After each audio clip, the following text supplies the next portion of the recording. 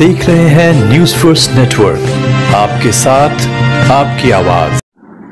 नमस्कार, आदाब। मैं अपने डुमरियागंज की जनता को पहले होली की बहुत बहुत बधाई देती हूँ और शब बारात की ढेर सारी शुभकामनाएँ। मैं डुमरियागंज की अपने जनता से कहना चाहती हूँ कि आप लोग होली और शब बारात का त्यौहार अच्छे से मनाएँ और शांतिपूर्वक जिस तरह हमेशा डुमरियागंज में मनाया गया है, उसी तरह से मनाया जाए।